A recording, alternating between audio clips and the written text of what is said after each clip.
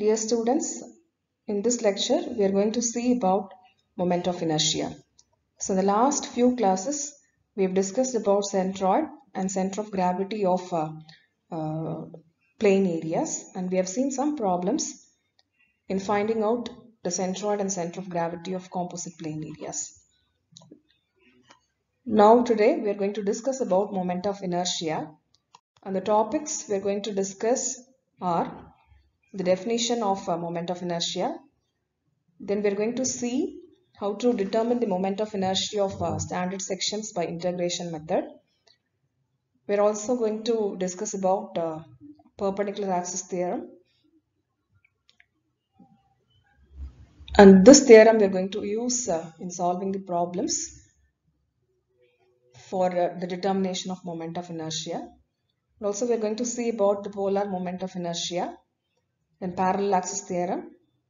And also we are going to see the formulae used to get the moment of inertia of standard sections. And also we are going to discuss some of the problems in moment of inertia. So let us start with the definition. So moment of inertia is actually an important property and it finds many application in the design of civil engineering structures. So it's nothing but uh, a property which measures the ability of the cross section of a body to resist bending or torsion. So in the last uh, lectures we have seen uh, how to get the moment of a force about a point. So we know that moment of a force about a point is the product of the force and the perpendicular distance between the point and the line of action of the force. So if the force is P and the perpendicular distance is x, then the moment can be calculated using P into x. Suppose if this first moment of the force is multiplied again by the perpendicular distance x, that is px into x. So the quantity we get that is px square is called as moment of the moment of the force or it is also called as moment of inertia. So briefly we call moment of inertia as mi. So instead of force in some cases we take area or mass of a figure or body into consideration then that second moment is called as second moment of area or second moment of mass. So if we uh, see the units of moment of inertia, so if the dimensions of a, a cross section of a body is given in meters, then the unit of moment of inertia is meter power 4. And if the dimensions are given in millimeter, the unit of moment of inertia is millimeter power 4. Now let us see how to determine the moment of inertia by integration concepts. So for this, uh, uh, we have considered this uh, plane area, irregular plane area. And uh, for getting the moment of inertia about uh, the reference axis that is xx and yy. So we have considered a small strip uh, which is shown in green color here. And let dA be the area of this small strip. And this x is nothing but the distance of this uh, uh, center of gravity of the strip from the yy axis and y is nothing but the distance between the center of gravity of the strip and the xx axis. So according to the definition of the moment of inertia, uh, moment of inertia of the small strip uh, about the yy axis is nothing but dA into x into x which is nothing but dA into x square and uh, from this uh, moment of inertia of the elemental area. So we can get the moment of inertia of the entire area by integrating the, the equation dA into x square. Therefore, we get Iyy is equal to summation dA into x square. So similarly, we can get the moment of inertia of the whole area about xx axis using this equation that is Ix is equal to summation dA into y square. Now uh, let us uh, extend uh, the integration principle now to get the moment of inertia of a rectangular section. So for this uh, here we have uh, considered a rectangular section of width b and depth d. So in order to get the moment of inertia by integration uh, principle, so we have considered a small strip. So the strip is marked here in green color. So we have the strip PQ and the thickness of the strip is dy and this strip is located at a distance of y from the uh, x-x axis. Now uh, the, the area of this strip is nothing but the width b into thickness dy which is given by b into dy. So the moment of inertia of this small strip about the x-x axis it is nothing but the second moment of this area. So which is nothing but area b into dy into y into y. So now we get by square dy. So this is for uh, this moment of inertia equation is for this elemental strip.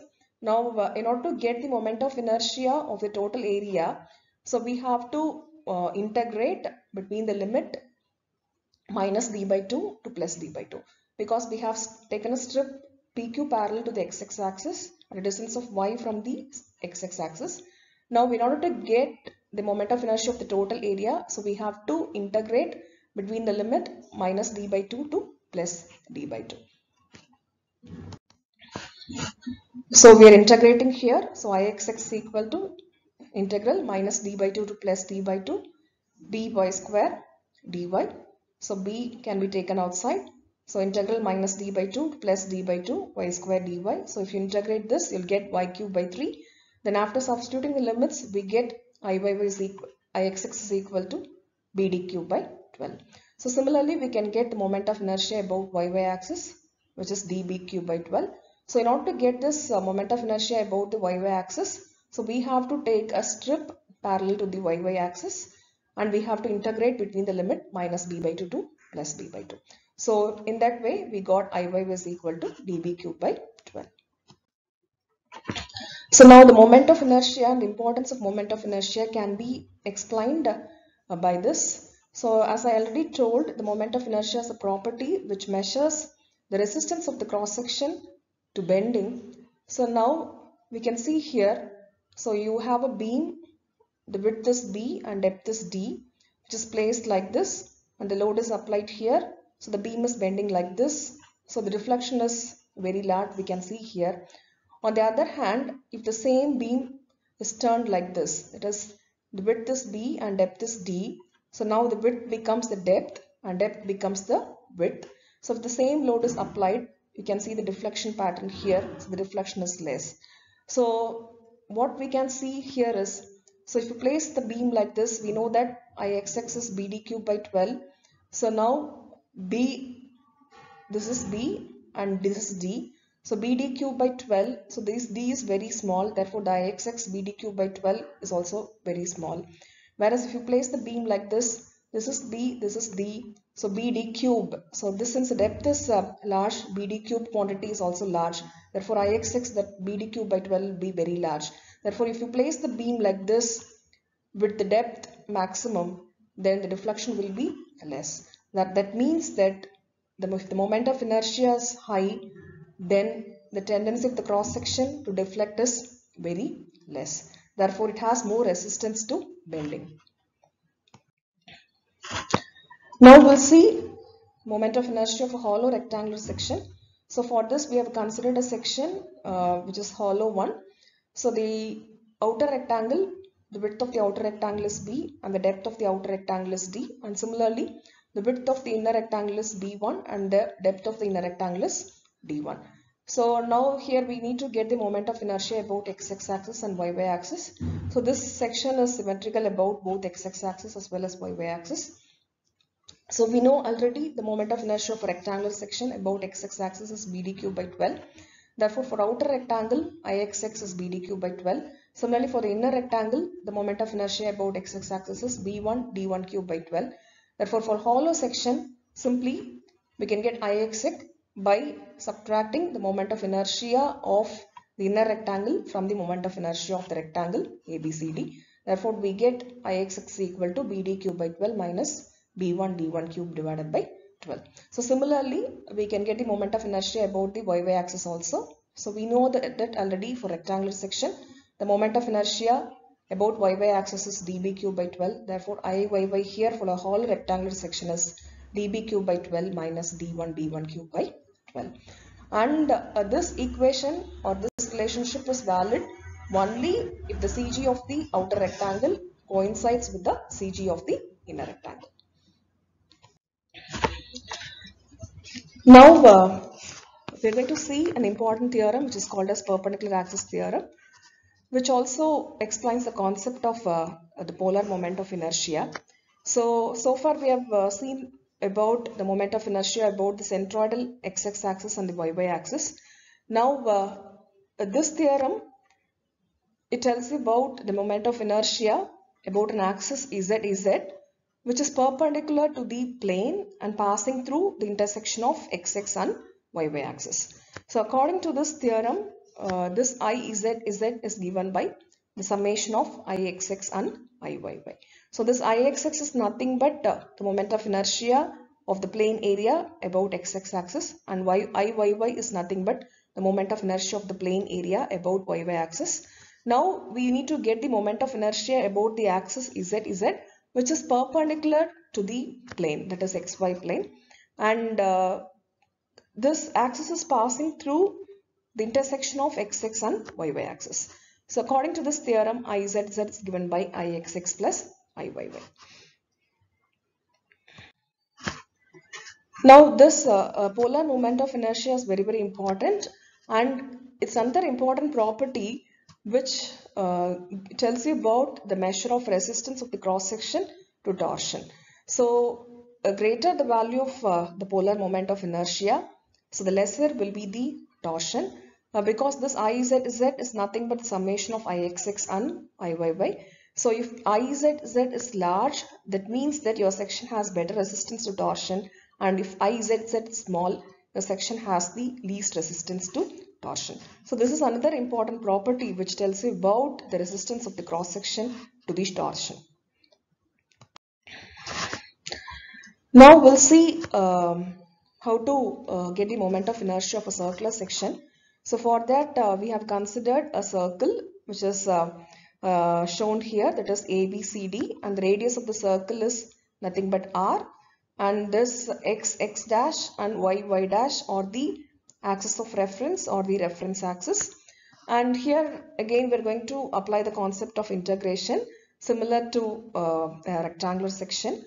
And here we are considering a small ring elementary ring of radius x and the thickness of this ring is given by dx. Now again once again uh, similar to rectangular section we are going to find uh, the elemental area or the area of this elementary ring so the area, area of this elementary ring is nothing but uh, uh, 2 pi x that is the circumference into the thickness. So 2 pi x into dx will give you the uh, area of the elementary ring and we have to find the moment of inertia of this elementary ring which is nothing but the second moment of area. So area here is 2 pi x into dx. So the second moment is nothing but into x into x. So we have 2 pi x cube dx. So this is the moment of inertia of this elemental ring with respect to xx as well as yy axis because we know that circular section is a symmetrical section about both xx axis as well as yy axis. Now in order to get the moment of inertia of the entire circular section again we have to integrate. Now we have to integrate between the limits 0 to r. So now after integration we get the moment of inertia of the entire section about the central axis. So we, we get Izz is equal to integral 0 to r 2 pi x cube dx. So after integration we get Izz as pi d power 4 by 32 after substituting r is equal to d by 2. And we know that according to the uh, perpendicular axis theorem this izz is nothing but ixx plus iyy and we know that since the circular section is symmetrical about both xx as well as yy axis ixx will be equal to iyy. So after substituting this we get ixx is equal to iyy is equal to pi d power 4 by 64. Therefore for a circular section the moment of inertia about both xx axis and yy axis will be equal and the value will be equal to pi d power 4 by 64 and the polar moment of inertia for circular section is given by pi d power 4 by 32. Now again uh, after uh, knowing the uh, moment of inertia of a circular section so we can easily get the moment of inertia of a hollow circular section and here uh, the diameter of the outer circle is capital D and the diameter of the inner circle or we can say the cutout circle is small d. So we know that Ixx for a rectangle, I mean for a circular section is pi d power 4 by 64.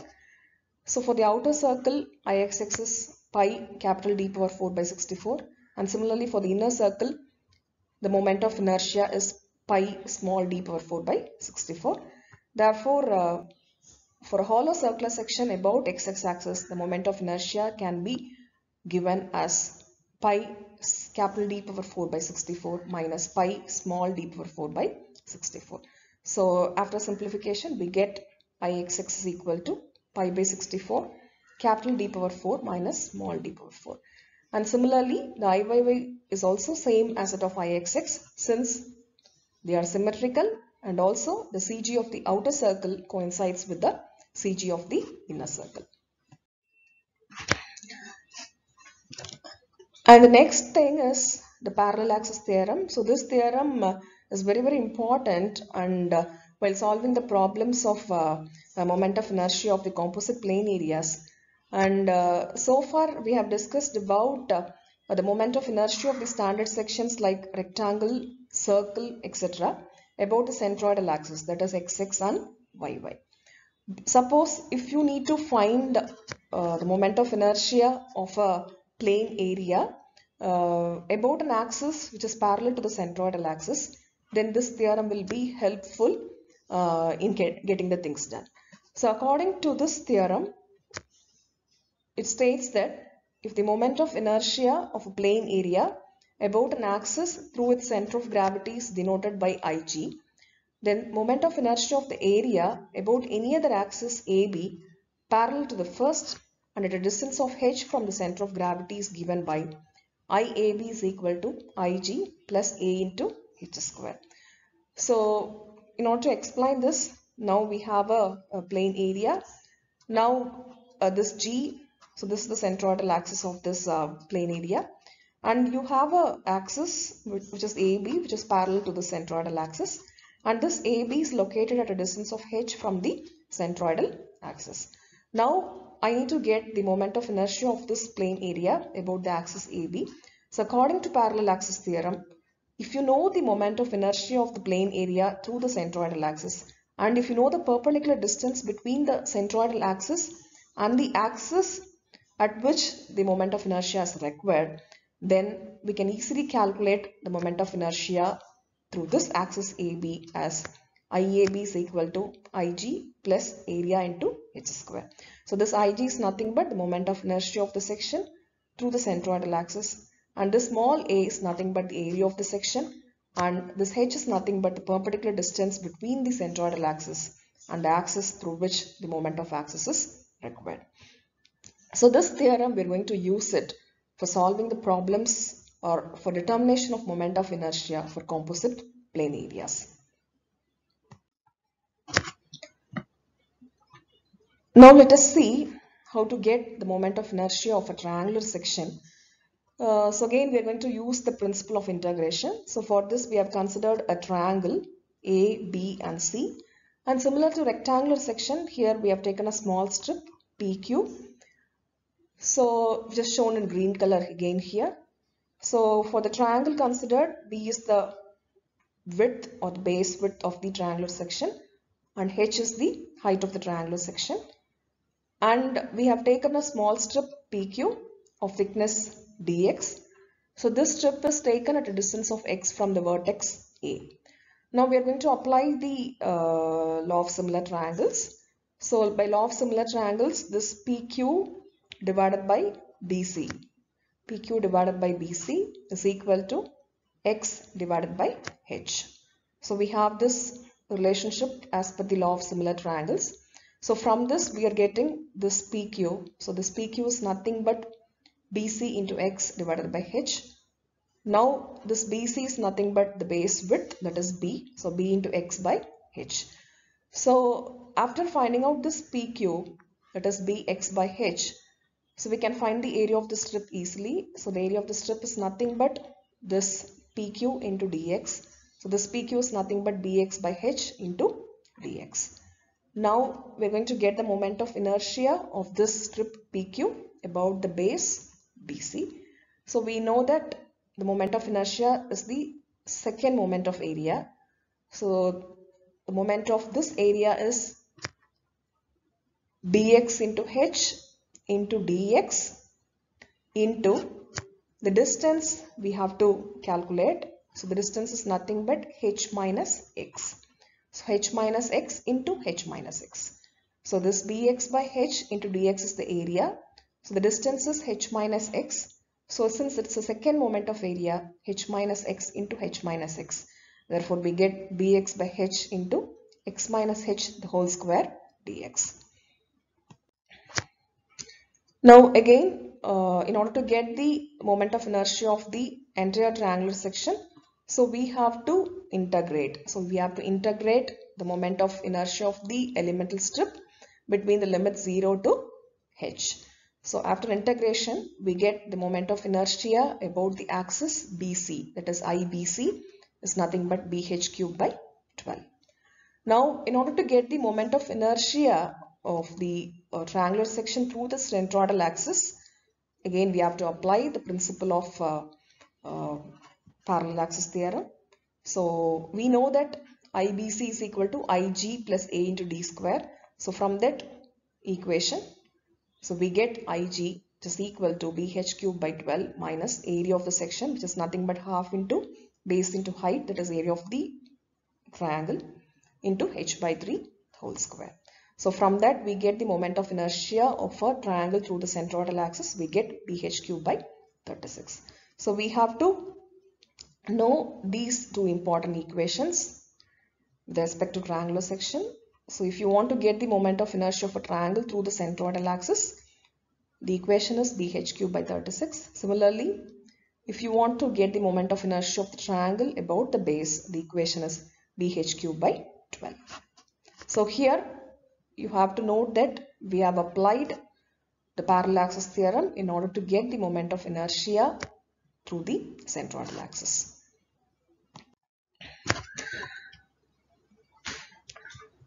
Now, uh, so we have discussed uh, so far about uh, rectangular section, circular section, hollow rectangular section, hollow circular section, and also triangular section. So based on that, uh, I have summarized here the moment of inertia of some of the standard sections. So as we have discussed earlier, for rectangle, your Ix x is bh cube by 12, where b is the width and h is the height. Similarly about the y-y axis it is b cube h by 12. And similarly the polar, polar moment of inertia is nothing but ixx plus iyy.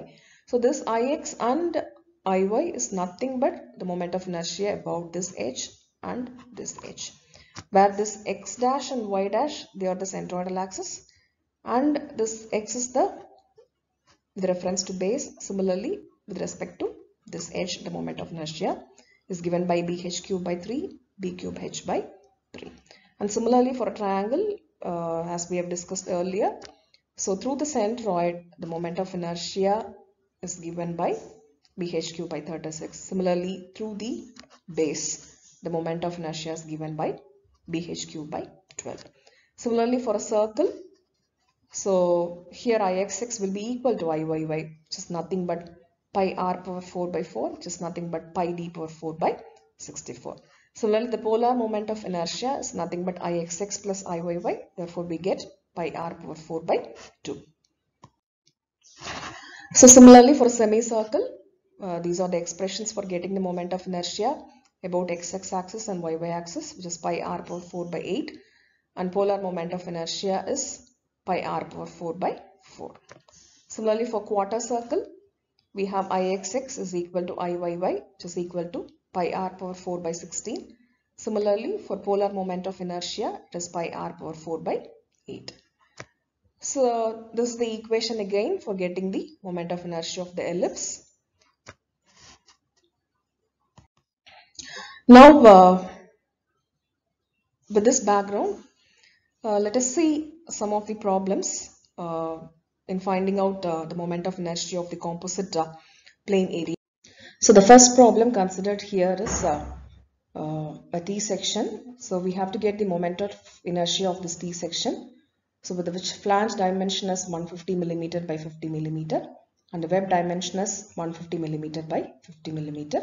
So we have to get the moment of inertia of this T section uh, about uh, x-x axis and y-y axis which passes through the center of gravity of the section.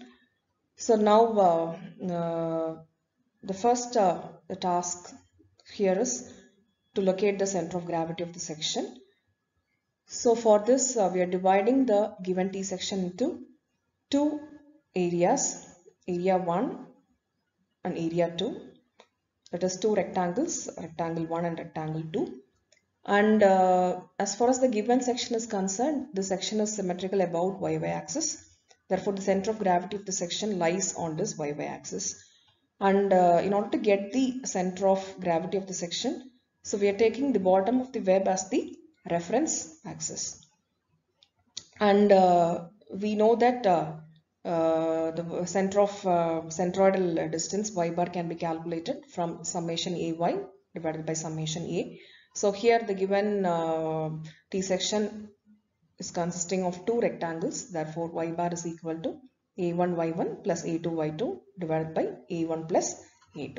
So using that equation, uh, we have determined y bar as 125 millimeter. And in order to get the moment of inertia about x-x axis, so first we are considering the first rectangle and for the first rectangle, first we are getting the moment of inertia uh, through the centroidal axis. So IG1 which is nothing but BD cube by 12. So here for the first rectangle is B is 150 mm and D is 50 mm. Therefore IG1 is 150 into 50 cube by 12 and uh, in order to get the uh, moment of inertia of the um, rectangle 1 about the centroidal axis I mean uh, xx uh, so we have to get the perpendicular distance between the center of gravity of rectangle 1 and the xx axis so that distance h1 is nothing but 175 minus 125 so this 175 is nothing but 150 plus 50 divided by 2 so that gives you 175 minus y bar. So y bar is nothing but 125. So we got h1 is equal to 50 millimeter. So now we got uh, the moment of inertia of uh, section 1 about x-x axis is nothing but ig1 plus a1 h1 square. So we got 20.31 into 10 power 6 millimeter power 4. So similarly for the second rectangle considered, we have to get the moment of inertia through the centroidal axis. So we get uh, here now uh, the width is 50 and depth is 150. So BD cube by 12. So 15 to 150 cube by 12. So that will give us this value. And similarly, we have to get the distance between the center of gravity of the rectangle 2 and the centroidal axis. So we get this distance as 125 minus 75, just 50 millimeter. So in a similar way, we got the moment of inertia of rectangle 2 about x-x axis. So we got the value as 32.81 to 10 power 6 millimeter power 4.